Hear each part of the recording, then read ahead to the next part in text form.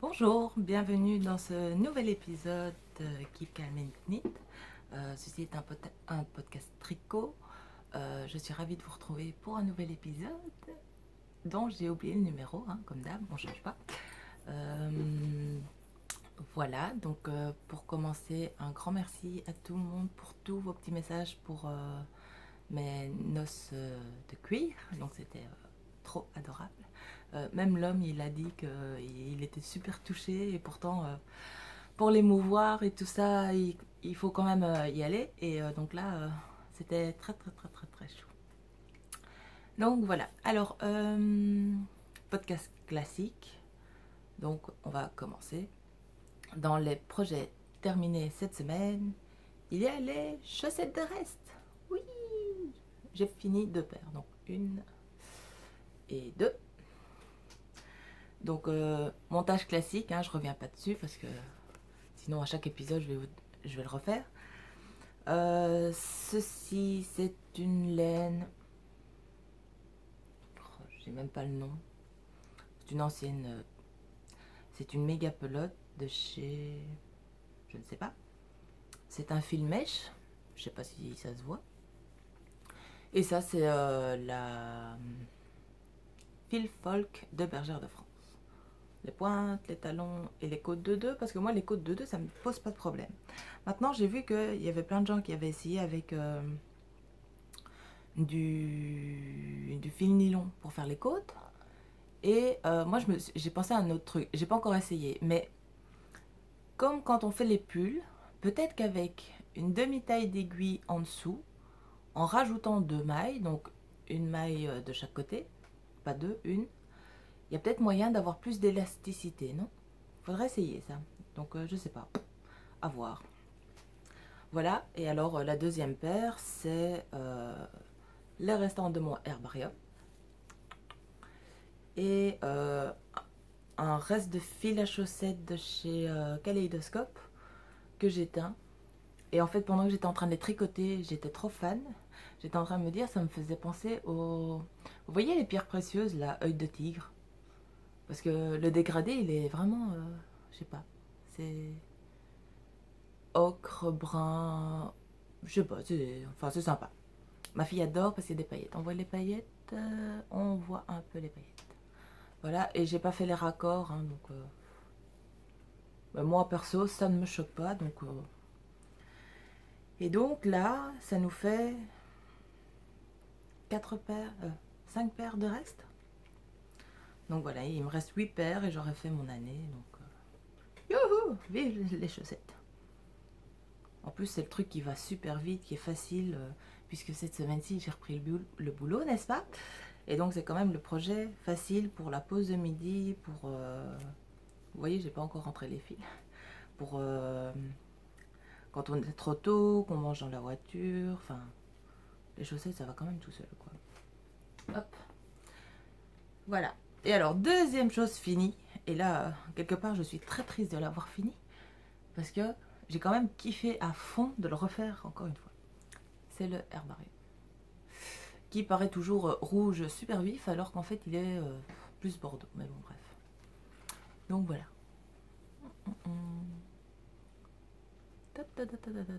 Voilà. C'est pas pour moi, c'est pour un cadeau. Euh, que dire On va dire que les 10 premiers centimètres, c'était un peu... Et alors après, on va dire cette partie-là jusqu'à la fin, là c'était le kiff absolu. Mais j'ai adoré. Je veux dire, devant la télé, en soirée, enfin... Et alors là, le motif de dentelle, mais sérieusement, j'adore. D'ailleurs, je pense que cette dentelle-là, je vais la remettre sur euh, des chaussettes. Donc, euh, tricoter les manches à part, euh, rattacher en raglant. Donc, euh, voilà. Hop. J'ai pas eu de soucis pour l'encolure. Donc, j'ai rabattu des mailles au milieu. Et puis, voilà. Je veux dire, ma dentelle fait pas des trous spécialement près de l'encolure. Voilà. Et puis, 2 cm de côte, comme sur les manches et comme en dessous. Et donc, au final, je trouve que l'erreur que j'ai fait sur le premier motif de dentelle se voit pas trop. Donc voilà.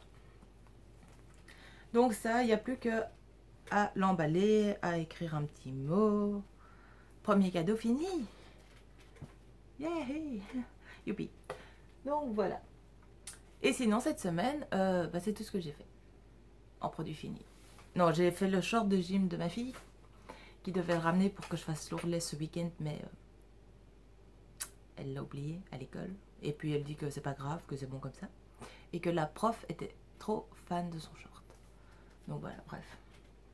Voilà, alors, sinon, cette semaine-ci, euh, j'ai fait ça aussi. J'ai fait de la teinture. Hein Donc, euh, c'est du 100% mérino de chez Alice Création. Donc, euh, c'est du DK quand même, hein, on voit bien. Et voilà. Et c'est exactement ce que vous voyez à l'écran, donc c'est bien. Donc voilà, je ne sais pas encore ce que je vais en faire c'est euh, en cogitation. Et sinon, ben, euh, dans les produits, en, euh, dans les produits, n'importe quoi ici, hein. dans les projets en cours, bah, là comme j'avais fini des chaussettes, j'ai recommencé des chaussettes. Là par contre, c'est pas les vraies couleurs, parce que dans la réalité, elles sont fluo. Donc ça, c'est les Perfect Socks euh, de Régia. Là non plus, j'ai pas encore rentré les fils. Donc euh, voilà. Donc le talon y est et tout. Donc, euh, et là, je dois faire la deuxième. Alors, ceci n'est pas une chaussette de reste, me direz-vous? Ben non. C'est parce que, en fait, les chaussettes de reste, il faut quand même faire ou des rayures ou mettre plusieurs laines ensemble et tout. Et en fait, là, j'en avais un peu marre. Donc, je me suis dit, je vais faire une paire avec une pelote où, euh, voilà, hop, c'est du jersey, on tourne en rond, et euh, donc voilà. Donc en voilà une, et euh, j'aurai certainement fini l'autre la semaine prochaine. Voilà, ça, ça c'est pour la deuxième. D'ailleurs, mon doigt va beaucoup mieux. De toute façon, hein, comme qui dirait, j'ai repris les aiguilles droites, ce qui fait que mon fil ne passe pas sur mon index, donc c'est bien. J'aurais pu tricoter à la continentale, mais moi je trouve que ça va plus lentement que... Enfin, tourner le fil, enfin bref. Et bon, en aiguille droite, je lâche pas le fil non plus, alors. bref. Euh, donc, j'ai repris des aiguilles droites. Hein, puisque le herbarium m'avait laissé un grand sentiment de vide. Vous savez, le vide tricotesque où quand vous avez fini un gros projet et que vous êtes trop content de l'avoir fini, vous vous dites, et maintenant qu'est-ce que je fais? Parce qu'il n'y a rien de préparé, il n'y a rien de monté. Enfin, si, j'avais plein de trucs qui étaient déjà presque montés, mais euh, où il y a quand même un instant de réflexion où on réfléchit à qu'est-ce qu'on va faire. Et puis là, je ne sais pas ce qui m'a. Hop. Mais j'ai remonté en fait un Vous devinez ce que c'est ça? J'ai remonté un Three Color Cashmere Shawl. Voilà. Donc le vert là c'est euh, de la Venezia. Cascade Venezia en fait. Donc euh, Merino et soie. Celle-là c'est un écheveau. Euh, j'ai pas l'étiquette, hein, non. J'ai un gros problème avec les étiquettes, c'est celle-là. C'est celle que j'ai achetée à l'aiguille en fait, que la dame fait en Amérique du Sud, sur le toit de sa montagne, euh, en faisant passer le tuyau sur euh, le toit de sa maison, je crois. Donc voilà. Et ça, c'est un bleu. Ça, ça fait super longtemps que je l'ai. c'est de la lace. Je ne sais pas quelle matière. C'était, j'ai acheté ça à la droguerie. Et euh, donc je le tricote en double puisqu'il faut une couleur contrastante. Et je trouve que les trois ensemble, bah, c'est quand même très sympa. Et là, c'est en stand-by parce que je suis obligée de tout repasser ça sur des aiguilles circulaires.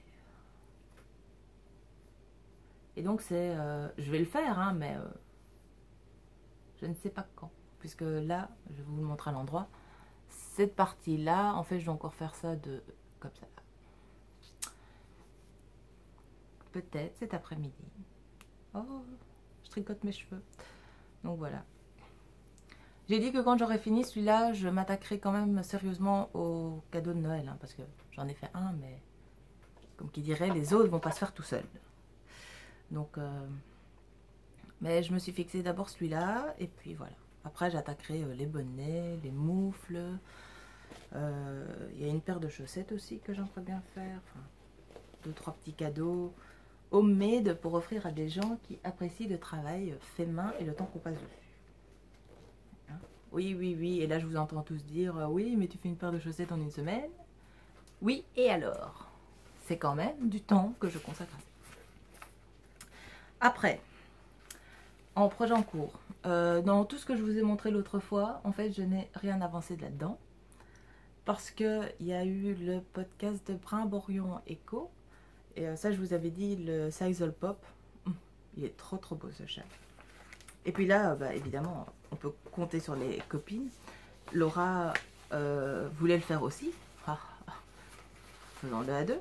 Donc, je vous remonte le patron. Mon imprimante a un sérieux problème de couleur. Mais... Donc, vous voyez, c'est de la brioche comme ça avec un motif de feuille. Donc, il n'est pas énorme, hein, mais voilà. Donc, avec Laura, on s'était dit, ah, écoute, samedi, on le monte et tout. Enfin, c'est génial, super. Donc moi je le fais avec un écheveau que j'ai acheté euh, à la cabane tricotée la dernière fois que j'ai été. Et j'avais dit je n'achète rien du tout. Qui s'appelle Vengeance. C'est la twist sock. Voilà. Hop. Coloris Vengeance. On voit rien du tout. En fait il fait tout gris. J'ai été obligée d'allumer la lumière. Vengeance. Et il coûte 22 euros. Voilà. Hop. Et euh, je le fais avec un gris. Euh, un gris un peu plus Euh, et là, je ne sais absolument pas d'où il vient. Et je ne sais absolument pas sa composition, son métrage. Je sais juste que c'est un très joli gris et que ces deux-là, finalement, ils vont super bien ensemble. La fille qui tricote comme ça vient. Donc, euh, ce joli patron. Alors, euh, j'ai fait ça. On voit rien du tout. Et il y a plein d'erreurs, donc je vais le redéfaire pour la cinquième fois. Donc, voilà. Donc, euh, le changement de couleur se voit bien. Mon point de brioche est OK. Des deux côtés. Mais alors, je vais vous le montrer très très loin comme ça, vous ne verrez pas le... Parce que ce n'a pas trop payant quand même. C'est sous forme de gris. Donc, moi j'étais très motivée, j'avais pas trop trop regardé. Euh, Laura qui me dit, ouais, mais viens, on va faire à deux, pourquoi pas, machin.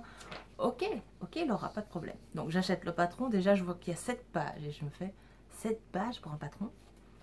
Là où j'ai déchanté, c'est que tout est sous forme de gris comme ça. Mais alors, enfin je sais pas, un petit moment de solitude hier quand euh, on doit commencer à décrypter le truc et qu'on se fait ok, d'accord. voilà. Et euh, en fait, je me suis un petit peu emballée. Donc euh, là, c'est trop... là, il fallait faire des augmentations, mais plus rapprochées. Donc je les ai trop espacées ici. Ce qui fait que cette partie-là devrait être comme ça, en fait beaucoup plus petite. Et en fait, là, j'ai pas fait mes diminutions là où j'aurais dû. Donc euh, voilà, bref. À ma décharge, euh, je regardais la télé avec la petite. Donc, euh, et Brimborion Echo. J'appelle tout le temps comme ça, mais elle a un prénom, mais j'ai oublié. elle explique bien dans son podcast que elle, elle a besoin de calme, de silence, que limite elle, met son chat dehors. Peut-être que j'aurais dû me concentrer hier. Quatre fois, j'ai remonté quand même. Donc, euh, celui-là, peut-être que je me dis, je vais faire une fois la répétition, le laisser en pause, faire autre chose, refaire une répétition, et ainsi de suite. Parce que pas... Ou alors c'est le truc qu'on doit avoir en mono-mono projet.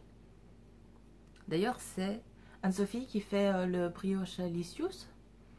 Donc, euh, à la limite, quand elle aura fini celui-là, elle peut se lancer dans celui-là. Parce que quand on fait de la brioche, il faut continuer à faire de la brioche après. Donc voilà, donc ça c'est en stand-by. Et clairement, j'ai pas envie de défaire. Mais jusque là, c'est vraiment trop trop moche quoi. Moche, hein C'est pas beau. Donc euh, voilà. Euh, et je le tricote avec les carbone fixes. Euh, non, c'est pas des fixes. Si c'est des fixes. Les carbones de Nick Pro. Rien à dire là-dessus. Tout. Enfin, elles sont bien, elles glissent. Enfin. D'un côté, moi je tricote avec des cure-dents alors. Hein N'importe quoi ce podcast. La reprise a été difficile en fait, puisque je suis. J'ai demandé euh, mon transfert sur le terrain et euh, qui a été accepté, hein, donc ça c'est pas le souci. C'est juste que comme ils avaient personne euh, tout de suite, tout de suite, en fait ils m'ont demandé de faire un peu les deux. Donc pour l'instant je suis entre deux fonctions et c'est un peu parce que par exemple lundi je suis en déplacement, donc je suis même pas sur le terrain.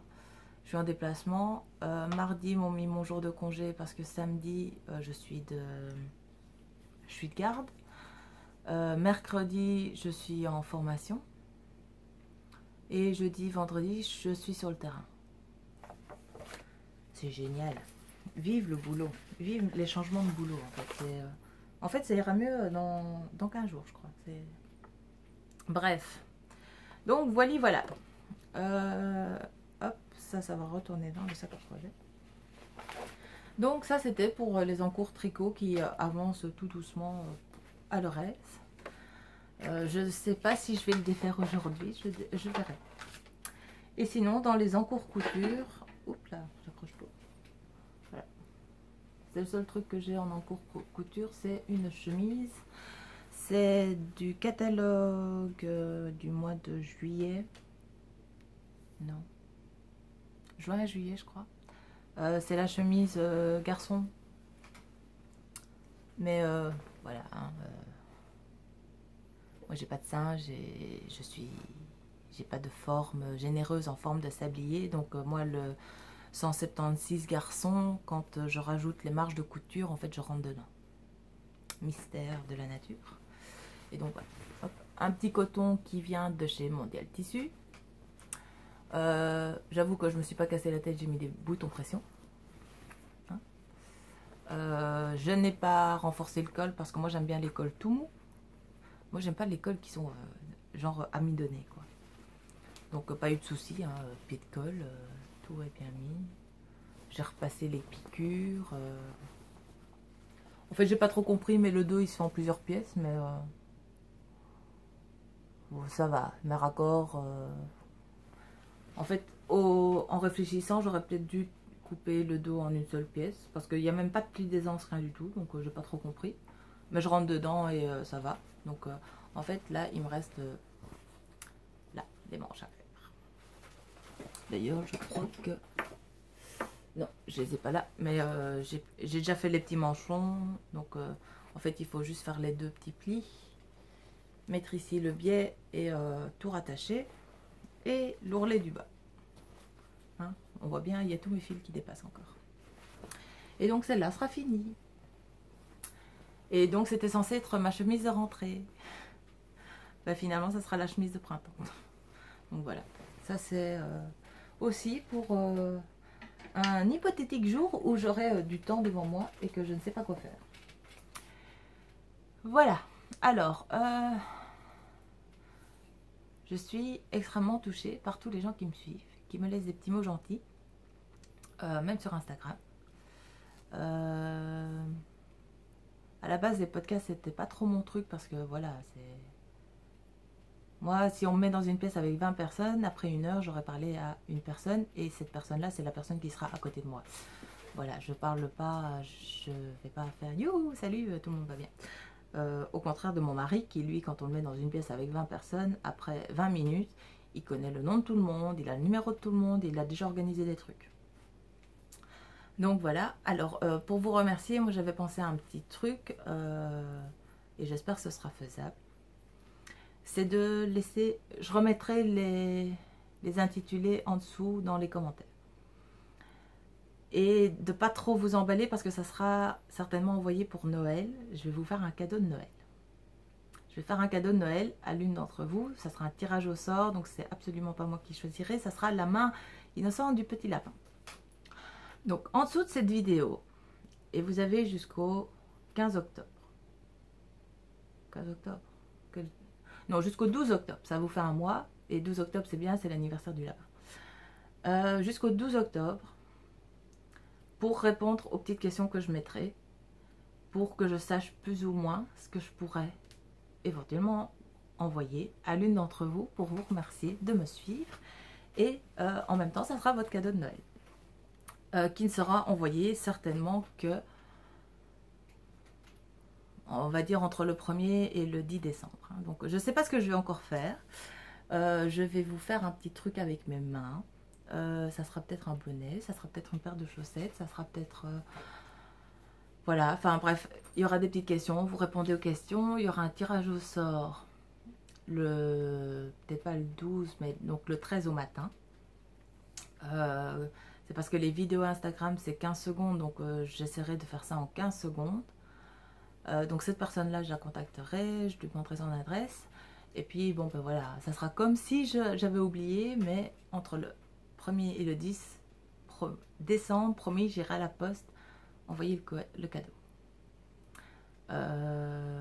surtout que je suppose qu'il y aura certainement un swap de Noël ou un, un échange de cadeaux ou un NSP ou n'importe quoi d'autre. Enfin bref, je sais pas si c'est très clair tout ce que je vous raconte. Dans ma tête, c'était dans ma tête, c'était très clair. Donc voilà. Euh, vous emballez pas, hein, je vais pas vous tricoter un pull ou un truc dans le genre. Hein. J'ai quand même un boulot et j'ai quand même une vie à côté. Mais euh, faire un truc euh, homemade, voilà, pour dire merci. J'espère que l'idée vous plaît que c'est pas trop farfelu et que c'est réalisable. Bref, maintenant, s'il n'y a que 20 participantes, c'est bien aussi, hein, ça vous fait plus de chances de gagner. Euh, dedans, je mettrai certainement euh, un, petit, euh, un petit chocolat belge, hein, on est quand même en Belgique. je vous mettrai certainement une spécialité ou un petit machin. Hein. Je vais pas être... je vais pas juste mettre... si je vous faisais une paire de chaussettes, je vais pas juste mettre la paire de chaussettes avec euh, bisous, euh, félicitations, tu as gagné. Hein. Donc je mettrai deux, trois petites choses dans l'enveloppe quand même. Et puis euh, voilà. il est clair que je ne peux pas envoyer 600 cadeaux, n'est-ce pas? J'ai pas le budget pour, malheureusement. J'ai pas encore gagné à l'euro million. Si je gagnais à l'euro million, je pense que je ferais ça. J'enverrais un cadeau à tous les gens gentils et sympas. Et voilà, bref.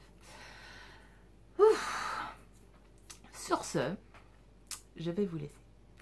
Je suis pas certaine de faire un podcast la semaine prochaine puisque le samedi, ben, je suis euh, de garde toute la journée parce qu'il n'y a, pas, a, a pas de responsable pour euh, l'ouverture et la fermeture du magasin.